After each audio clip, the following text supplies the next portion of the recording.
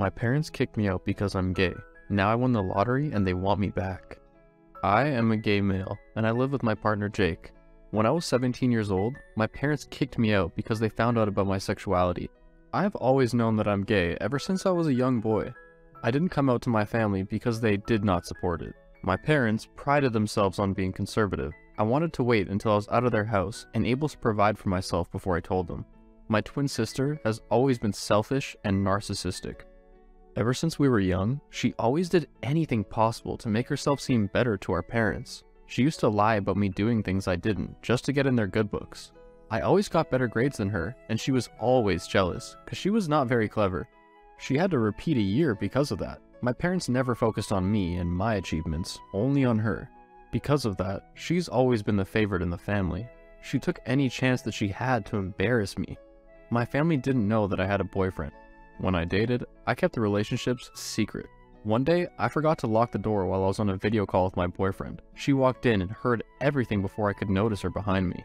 I begged for her not to tell our parents about it. She said that she wouldn't, as long as I would owe her.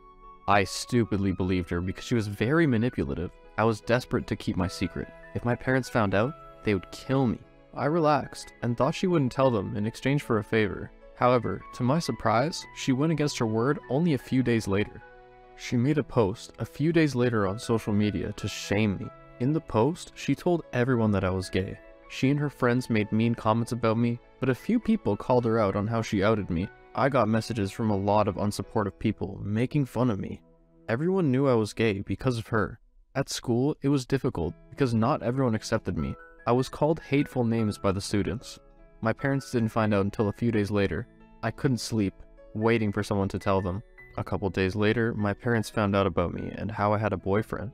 I confronted her about it, and she said that she didn't care if anything happened to me. I was a disgrace to the family for being who I was. Her words hurt me.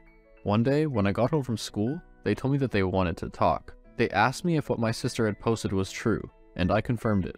Trying to hide it was no use, because they believed everything that she told them. They told me that I had to leave because they didn't want a gay child. My sister just sat there and watched the drama, smiling. I asked her why she had betrayed me. I should have known that she would take any opportunity she had to throw me under the bus. I begged them and told them I had nowhere to go, especially at night. But they didn't listen to my pleas. They threw me out at that very moment, not caring if anything happened to me. Because I had nowhere to go, I called my boyfriend to tell him what had happened to me, and he came to pick me up. I went to stay with my boyfriend, who was a year older than me. After what they did to me, I didn't want to have any contact with them. I hated all of them for how they had failed to support me. Throwing me out of the house was too much. I finished high school with great difficulty and went to college on a student loan. I haven't seen my family for many years. My boyfriend was very supportive of me as I worked hard. Things weren't that great for us financially since we were both studying and working part-time. I rarely played the lottery, but I had some spare change one day, and I thought I'd do it for fun. I picked numbers that meant a lot to me and my partner. At night, my boyfriend and I watched the lottery show. We both had long days, and were watching it while helping each other cook, since there was no wall between our living room and our kitchen. Then, they announced the numbers. The first number was the same as mine, so I quickly grabbed my ticket when I heard it. They called several more of the numbers, and I couldn't believe it. I had won the lottery. We jumped up and down, screaming when we had realized what had just happened. I got enough numbers to qualify for a prize between 2 to 3 million dollars. Never in my life had I ever gotten so much money. With that money, I could solve all my problems. Suddenly, my life changed. Once it cashed out, I spent a chunk on paying 80% of my college debt. It had been the one thing that had been stressing me out for a very long time. I spent some money on a big house and a gorgeous car. I saved the rest of the money so that I could use it on other expenses that would arise. My boyfriend and I were literally living in luxury. I posted my house and my car on social media, and many people congratulated me. Suddenly, people who had shamed me in high school wanted to become my friends. Funny, right? I did not entertain them because I knew that they just wanted to use me. One day, I saw that my sister had liked one of my posts on Instagram. I found that strange since she had not spoken to me in so many years. I didn't think too much of it and soon forgot about it. Then one day, I got a call from an unknown number. I answered it out of curiosity. It was my mother. After so many years, I spoke politely to her and asked her about her health.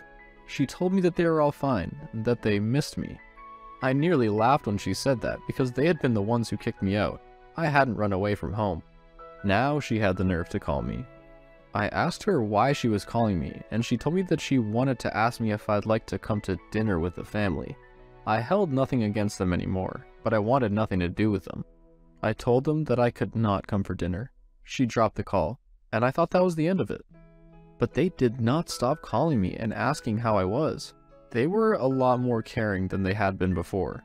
I asked my boyfriend for advice on whether I should go for dinner at the house. He told me that life was short and maybe they had really changed. That got me thinking. I could just go and catch up with them. He also warned me to be careful of them. They could have been after my money. So I got back to them and I told them that I would come for dinner, but I would come with my boyfriend. To my surprise, they seemed very happy about it and told me that they were very happy to meet him. So then, we went to the house for dinner. When they saw me pulling up in my car, they were shocked. They hugged me when they saw me and acted very excited. My sister was the one who surprised me a lot. She went on and on about how she missed having me around and how things weren't the same without me. She was the one who had rejoiced when I was kicked out. I was nice to them and I wanted to catch up with them since they were my family. They pulled out all the stops. They had cooked all of my favorite food, something that they had never done in the past. During dinner, they were very interested in finding out what I was doing with my life. So I told them that I had gone to college and had a job. My sister asked why I was working when I had money, but I told her that it didn't grow on trees. They told me that my sister had seen that I had won the lottery on social media, which explained why she was liking my posts. And that was when I got the first red flag. They were very nice to my boyfriend as well. They were laying it on really thick, and I saw right through them. After dessert, my father asked if he could talk to me in his study. I was curious what he wanted to say, so then I went with him. When we were there, he told me that he was proud of me for making it so far in life. Imagine, the same man who had never praised me in his life was telling me that he was proud of me? I thanked him and asked him what he needed to ask me. He told me that things were a bit difficult for them, and he needed to ask me for a loan. He needed to pay for my sister's college fund, and they didn't have that much money. I had the money, but I wasn't jumping to help them out. My sister had been nothing but mean to me from the very beginning, and my parents had always took her side. But we had been teenagers. Maybe she was different now, as an adult. I was about to answer when he told me I could take my time to think about it. We went back to the living room where everyone else was. My father whispered something to my mother and my sister. Then suddenly, my sister started asking me how much my house cost. I asked her why she was asking such a thing, and my mother, since I could afford a big house, I must have the money to pay for my sister's college. Then my dad said that I had to give them money to buy another house. I told him that I did not have the money to pay them. And besides, I would help out with my sister's college, and they would just pay me back. Then my dad asked why I would let my own parents pay me back when I could just give them the money. It clicked right then that the dinner was just a way to trick me out of money. I believed that they had really changed, and now they had proven their true colors. So I went ahead and told them that they wouldn't even get a cent of my money. That got them very upset, and I saw the people who had kicked me out years ago. They stopped being nice, and they shouted at me. I had to share my money with them because they were my family. They told me how ungrateful I was. They said that gay people were nice, but I was being rude to them. I told them that the money was mine, and they didn't help me with anything, not even my college fees. I had to work many odd jobs at the same time and take out a college loan just so that I could survive. My boyfriend told them to leave me alone, but they continued to attack me. I told them that I wanted nothing to do with them as long as they were still selfish. So then, Jake and I left the house and went back to our place.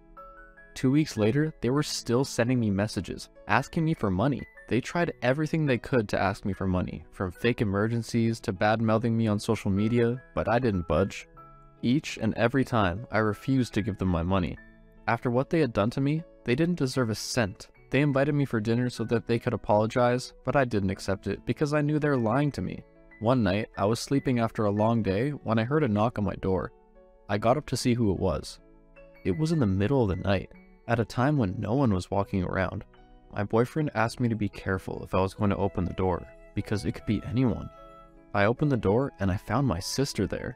I knew at that very moment that she had come here to ask me for money. I asked her why she had come to trouble me at this time of the night. She answered in a shaky voice and asked me if she could come in because it was raining outside. The tone of her voice alarmed me because she didn't usually sound like that. She stepped into the house and I saw that she had been crying and she had a small bag with her. I asked her what was going on, but she just started to cry. I called my partner and he came to the door. I told her to go and take a shower and wear something warm. Then we would talk to her. While she was gone, Jack and I discussed why we thought she was here. We both agreed that we would let her sleep here until the morning, then she would go back home, or we would drive her back at that very moment if she started causing any trouble. I was getting very tired and annoyed with my family for the way that they wanted my money. When I had nothing, they kicked me out like I was trash. But now that I had money, they want to be a part of my life? When she freshened up, we sat together in the living room, and she started to explain everything. I told her that I was going to call our parents and tell them that she was here, but she stopped me. She started apologizing for how she had treated me a long time ago. She had been trying to hide her own secret, and that was why she decided to expose me. She didn't mean to get me kicked out, according to her. She also told me that when she found out that I had money, she told our parents. They made a plan to be nice to me so that I'd give them money. That night, they had found her in her room with someone that they weren't supposed to see. I asked her if she was there because she'd been caught with a boyfriend. She said that she hadn't been caught with a boyfriend. Our parents had kicked her out because they found her with a girl in her room. Her secret was that she was a lesbian and had been hiding for all her life. Our parents had lied when they pretended to accept me. They had been homophobic from the very beginning, and now they had kicked her out because she was lesbian. She had begged them, but they had told her that she wasn't going to return to their house again. I was shocked at what she was telling me. They convinced me of a lot of things. They had me many times. I don't know if I can trust what she said. Thanks for watching. Consider subscribing to become a part of our Rainbow Force, and stay wholesome.